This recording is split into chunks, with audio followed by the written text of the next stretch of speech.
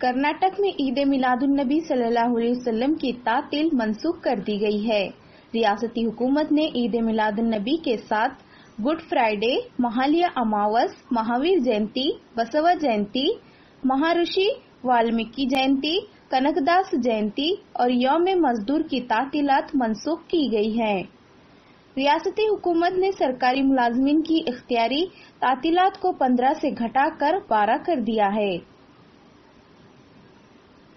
गुलबर्गा से ATV news के लिए आयतुल्ला सरमस की report Ramzan special mega sale Vijayalakshmi silk city centre mall supermarket Gulbarga happy Ramzan happy shopping.